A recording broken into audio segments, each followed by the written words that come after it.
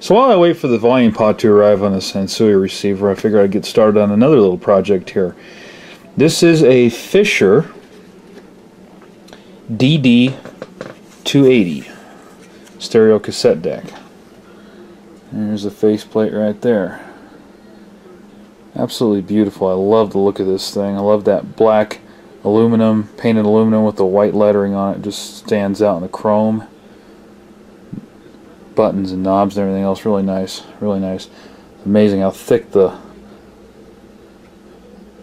display window is on this thing.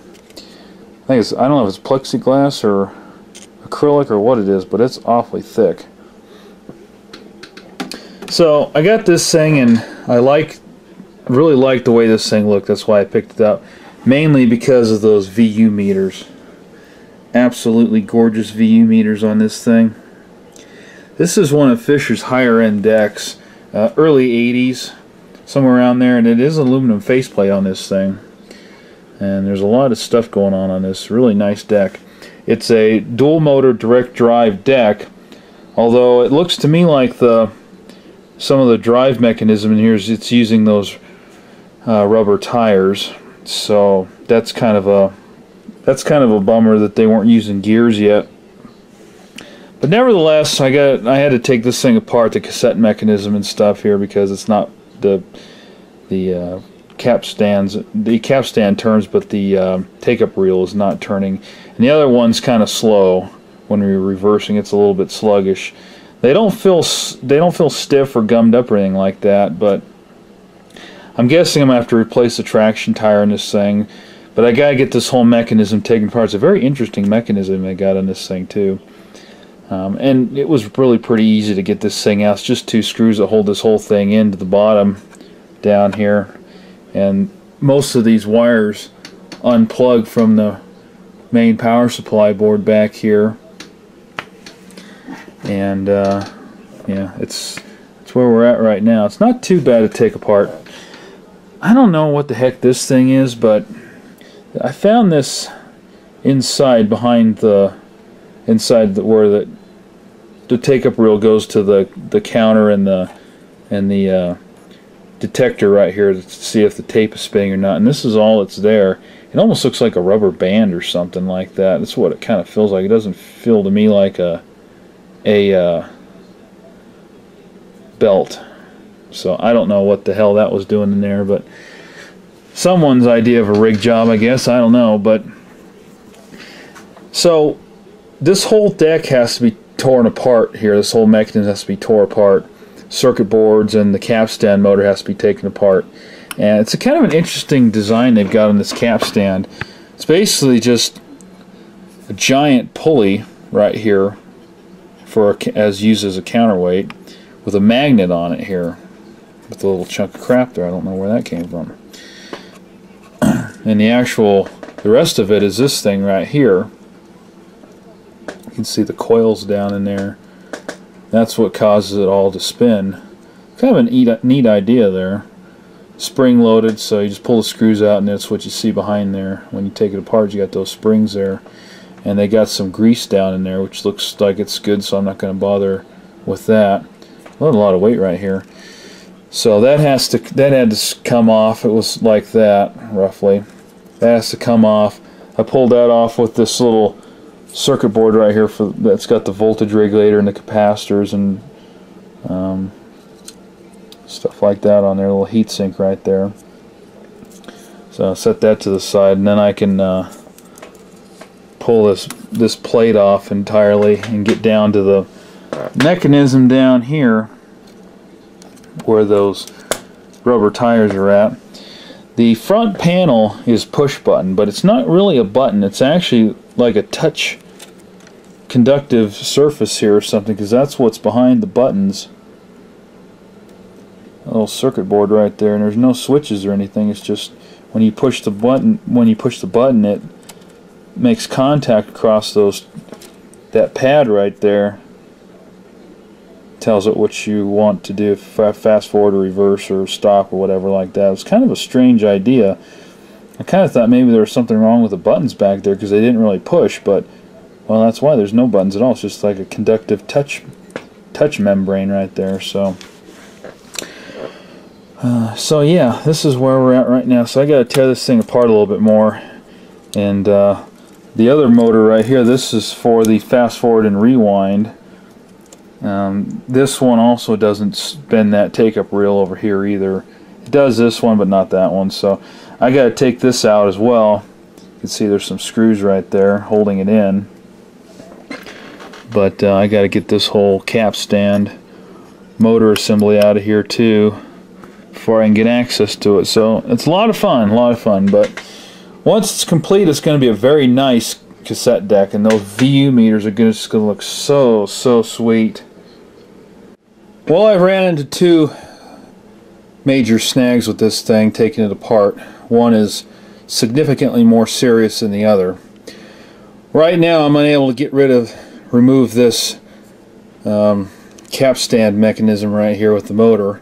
There's three screws that hold this thing on, and they do not budge. And in an attempt to try to get them free, and trying several different bits to fit in there, I've managed to round pretty much every one of them things out. So uh, those are going to have to be drilled out. The heads are going to have to be drilled out so I can pull this out and then I'll have to get some vice grips or something on whatever's left of the threads and try to extract it that way. I don't know if Fisher glued those things in or what they did. They've got a little streak of green goo or glue or I don't know Loctite or whatever the heck that stuff is there. And uh, the other ones, the other screws that had that on there, they broke free just fine, but these ones are not budging, so I don't know if they put it in there, yeah, this stuff on the threads or what they did, but they're definitely in there and they're not coming out. The other problem here is the capstan. You notice I've got it removed, but um, this is the result of that. And the problem here is that the metal is all cracked. You can see those spider cracks all over it right there and it literally just busted apart trying to pull it out of there. I didn't even pull it actually, just grabbed it. And one of them broke and the other one kind of bent off a little bit and then it finally fell off on its own. And it was stuck in there pretty good. So trying to pry that out of there down here just a little bit that tore off as well. Didn't take much to do that actually. You can see here where the capstan this bearing right here the other side of it there is all fractured and cracked too. So there's only one way to fix this unfortunately. I looked on eBay and a Google search just to see if this part was available and I had no luck finding anything like this nothing at all as a matter of fact. So there's only one way to fix this and it's going to be gluing it back together and hoping that's going to uh, hold. There's not a ton of weight that this thing carries but yeah, this is a pain in the butt. So what I'm going to do is I'm going to JB weld it together. And I got this JB weld quick here. That's not all I'm going to do. I'm also going to spread JB weld across this whole entire thing because all this metal is cracked right here. I mean, every bit of it is cracked.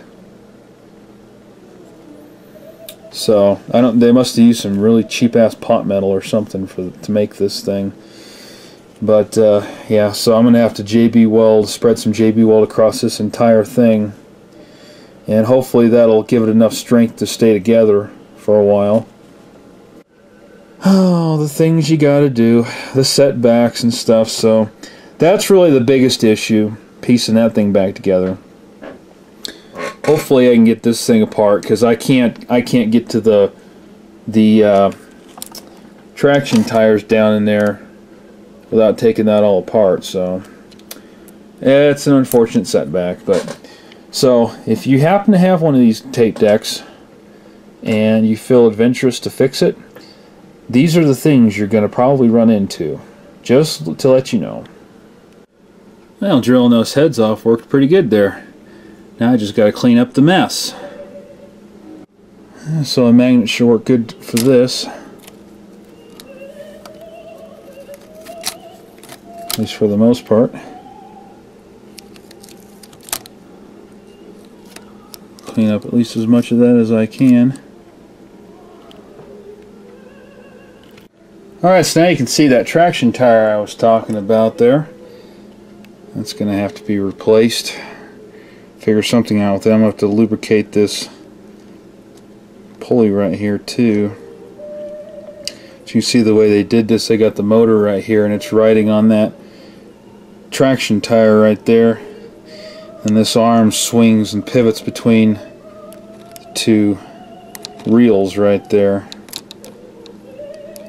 So that's going to have to be replaced, I'm sure. You know, I could maybe try to clean it, but at this point, as much work as it is to do all this, uh, best to replace that. So I'm going to put an order in. I'm going to see if I can find a traction tire uh, and get that ordered. If not, I'll have to figure something else out, but I'm sure I can find one of these. Well, about a week and a half later, parts finally arrived for this Fisher cassette deck. And the other thing I've got pretty much finished is that bracket that holds the capstan motor. Not the prettiest thing in the world, but it'll definitely hold it when I have to. I, I went ahead and sanded this down a little bit to make it smoother so it fits better uh, through that hole right there. And uh, I'm going to probably smear some liquid super glue around that just to kind of try to soak in there and hold that metal a little bit better together there. I don't think it's going to necessarily break, but um, any little bit helps. And I can't really, I can't put any uh, JB weld on here because that'll change the diameter uh, of this snout right here. So it wouldn't fit in the hole anymore so. Whatever glue I use I have to keep it uh, as thin as possible so liquid super glue will should work for that pretty good. So this uh, I got this tire kit right here for the idler pulley and this is the old one and I just kind of had to guess judging from the pictures as to which one would probably work when I ordered these.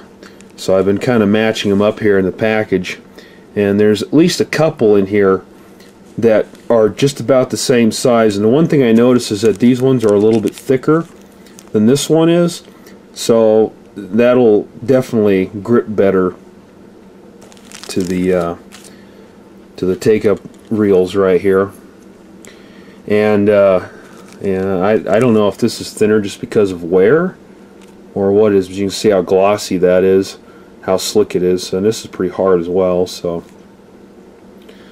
um, try a couple different uh, ones of those and see which one fits the best. And I also got a set of uh, various belt sizes as well because I'm going to have to replace the belt that goes between the capstan and the uh, counter over here. So this is a heck of a mess. Hopefully I can remember how to put it back together. I wasn't expecting this stuff to take almost two weeks to arrive. Anyway, those little screws that I had to drill heads, heads out of, um, those came out fairly easily uh, from the shafts right here. So that wasn't a big deal, thankfully. So I guess that green glue that they used was all was holding those things on there. So I'm going to have to find some new screws for this. And even if I have to use um, some washers or something, these are countersink screw heads. But even if I have to just use some flat heads with some washers on them, it shouldn't be a problem because there's plenty of space here um, between where they sink in here and this plate. I'm not even sure why they used countersink screws on that, but uh, anyway, that's not a big deal. So, oh, the fun times of getting things back together after they've been apart for a while. And this is just to get it to a point that I can test this thing. You know, who knows what else could be wrong with this. Um, we got lots of electrolytic capacitors on this thing, so um, transistors and stuff like that. So uh, I might go ahead and test some of these while it's out, but um, yeah, I probably have to desolder a lot of them to do that. I, I don't know. We'll see. So I've got two idler tires here that I think will work. I'm just going to have to try each one and see which one I think fits the best on the idler here. This is the original one. And these two, uh, the overall diameter of this one is the same, but the inside diameter is smaller. So it's a little bit thicker as you can see. This one, the inside diameter is identical to this one. So I'm going to try this one first. And uh, if not, uh, we'll try this one. I just want to make sure it's a tight grip against this pulley right here.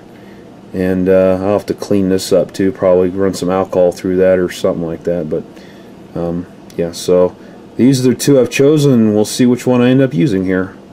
So I ended up going with the smaller diameter tire.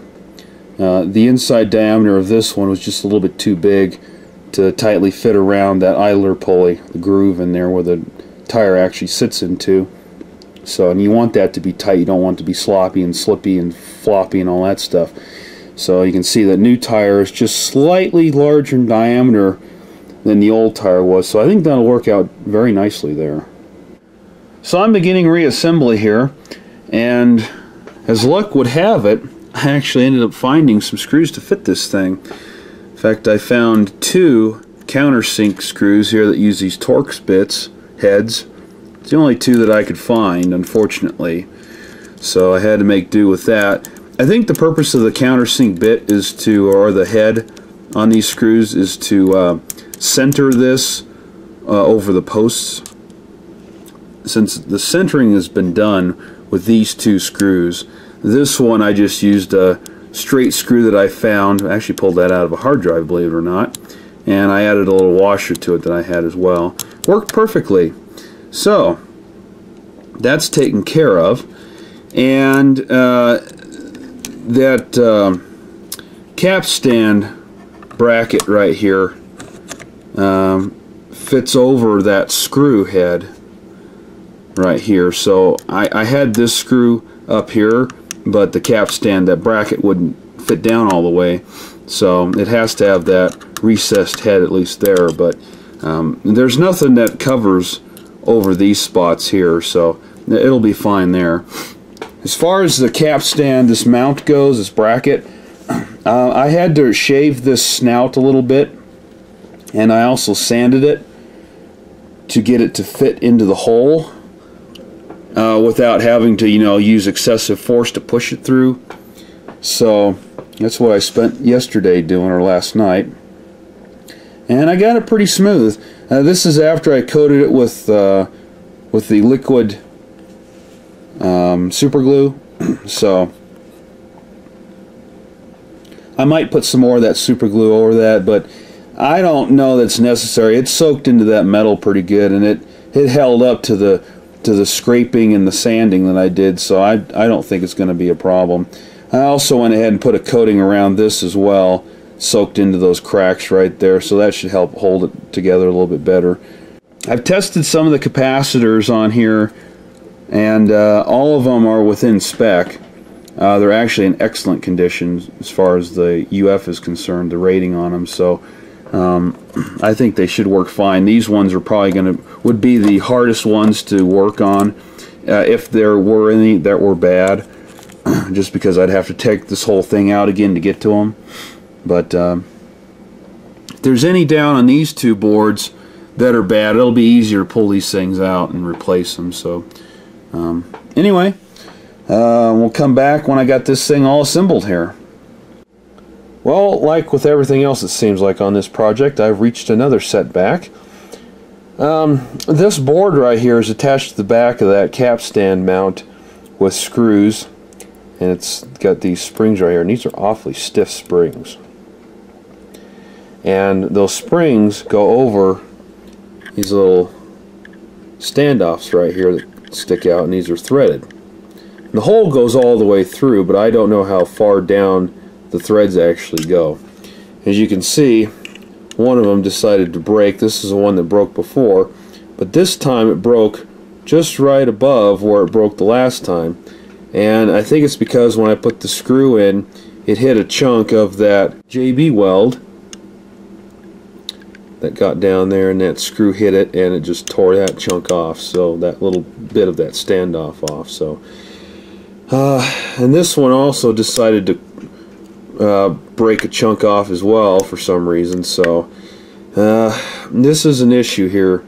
These are very brittle, like with everything else here. This whole thing is brittle. And I couldn't put any JB weld on this because those springs sit, sit right over this, so they wouldn't have been able to sit, slip over this standoff had I done that because it would have been thicker. So this is a major setback. I'm going to have to come up with a way to do this. Um, the purpose of the springs, I think, is so that you can get that board aligned true, because this is the magnet right here. You can get that board aligned true on there so it, uh, it spins at a stable speed. So, um, I'm probably I'm going to have to drill this one out. And this one, uh, both of these, I'm going to have to find a longer screw to get down into the meat of this um, this support right here. Uh, hopefully the same size. Um, I, I don't know yet. I'm going to have to work on this a little bit, but that's a major setback, and having to drill that out presents some more dangers as far as this breaking further. So, oh, this is becoming a real pain in the butt. If I could just make one of these, I would. So I'm going to leave this project off here tonight with this. Um, I've come up with what I think is going to be a way to fix this. Uh, this particular shaft right here, uh, it broke off a little bit further there you can see, but you know, piece of shit. Anyway, um, what I did is I drilled this out just a little bit so that I could get this screw down in there so it wouldn't split this because that's what I was afraid of is jamming this, you know, threading this thing down in there and the threads being a little bit bigger would split this thing apart. I've had that happen before, so not not on this metal, but with plastic and things like that. So I uh, drilled this out. This screw is actually out of uh, uh, for a processor uh, fan to screw it to the heatsink. Uh, I've got a few of these long ones, so I've got that in there. It's holding very nicely. You can see there. Um, so this one. Um, I also found in my screw collection these little things, these little screws, and they just happen to have the exact same, they're the same size and thread pitch as the screws that Fisher used to hold that circuit board back here. So um, they're longer than the ones that Fisher had in there. That's one Fisher had, and then butt this up to that. You can see it's a little bit longer than that one. So I'm hoping what's going to happen is that's going to thread into this one further past to where it's uh, actually uh, broken off right there. So yeah, anyway, it's uh, about 11 o'clock and I'm going to end this project here tonight and we'll come back uh, probably tomorrow night or something like that and just get started on it again here. Well, I finally got this thing working again. And uh, I had to do a little bit of adjustment up in here to get things to mesh properly again that I didn't notice when I first took it apart, but everything's working right now. This pinch roller assembly down here was seized something fierce into place, and so I took a little bit of my um, oil right here, which is nothing more than motor bearing oil for RC cars, and I dripped a little bit on the end down there where that little retaining washer is a little C-clip right there. And just kind of let it soak overnight and I wiggled it around a little bit. It was really stuck pretty bad. And overnight it that loosened it all up so it works freely now. And it doesn't sound too bad. The speed is off a little bit so here we go but it does work so we've made quite a bit of an improvement here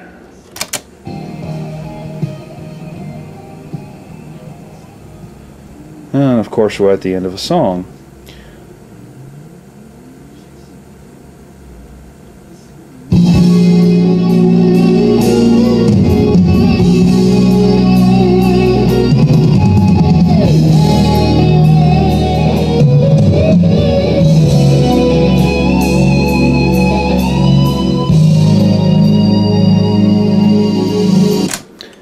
To adjust the uh, head a little bit too.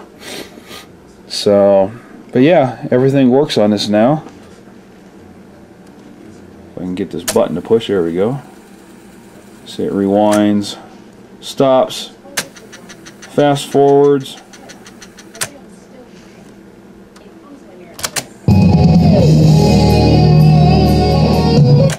It pauses. Everything's good. So, now all I need to do is adjust the speed, and that's going to be fun. So the variable resistor down there that I need to adjust is not going to be fun to get to.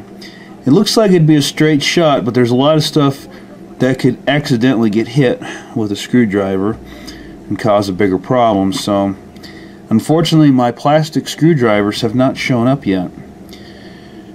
kind of bothers me about that. But anyway, so I'm going to have to um, going to to tape up a screwdriver because I don't want to have any kind of accidents here while I get down there.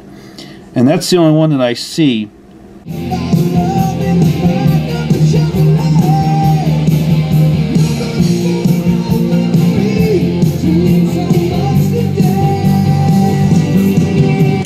Okay, I've got this thing sounding pretty good, but one thing that uh, I'm noticing is that I well, I got the tape speed sounding pretty much right. I haven't actually done any technical adjustments, te you know, technically, you know, matched it up or anything like that. But um, I maxed out on the uh, variable resistor, the voltage regulator, that that variable resistor down there that controls the speed of everything in here. So um, on this deck, and this is of course true with all decks, but this one in particular, it's very important. The uh, capstan is what determines the actual speed of the playback. That's what's actually pulling the tape through. The take-up reel just takes up the slack of the tape and makes it, you know, taut so that it doesn't go flying everywhere. But ultimately, the the take-up, the um, capstan, is what determines the actual speed of the tape. And given the fact that these are independent motors, um, the speed is going to be determined by that capstan. So that means that since I maxed out on the speed here with that variable uh, that uh, variable resistor back here, um, there's something not quite right. Now I checked the um, that little uh, pulley down in here that I replaced that uh, tire on, and uh, I just pushed it completely away, and I didn't change the speed of it at all, and it you know it caught back up the, the tape up reel caught the tape back up there really quickly, so it wasn't like I lost tape or anything like that when I did that. But uh, so that could mean two things. One is, and I think this is the most likely one, um, the motor. I need to adjust that that distance on that uh, that uh, circuit board that you you saw earlier with the little coils on it there.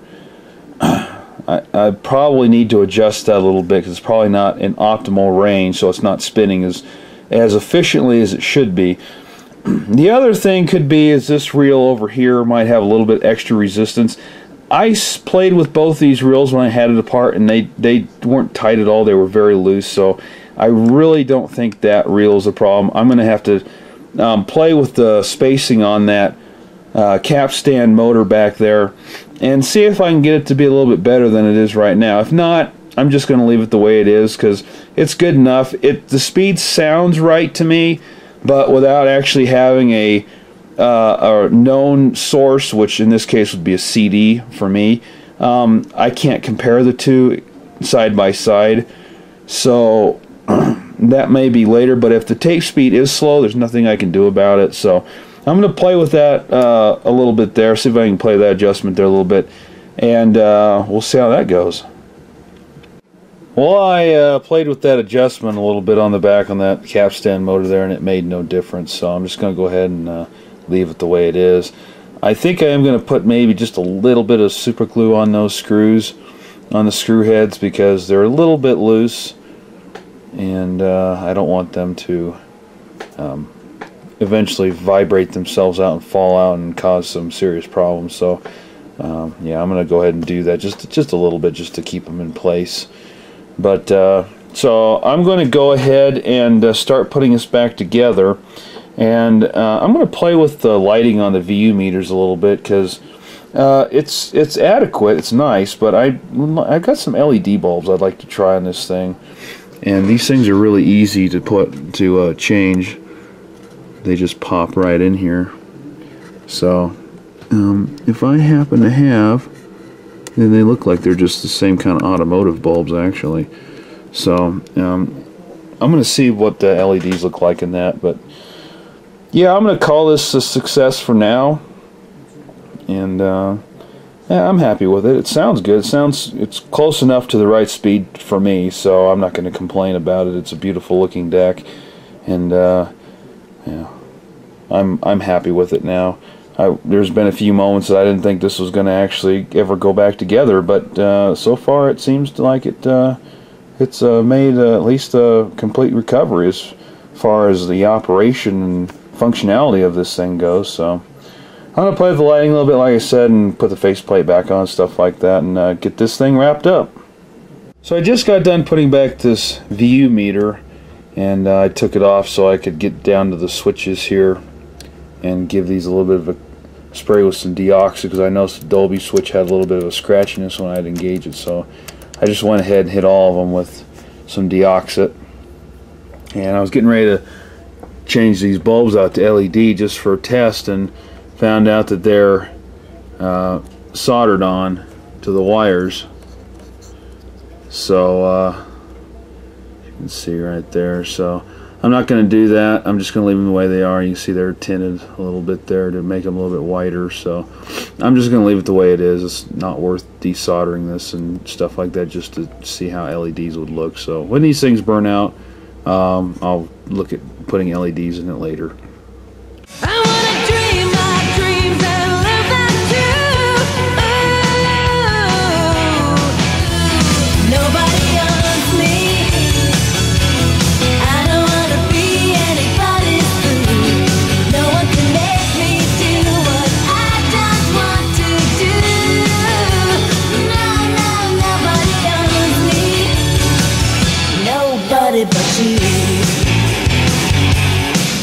Well, as you just heard, everything's working really nice on this. It sounds really good, and mechanism is working quite snappy, as it should be.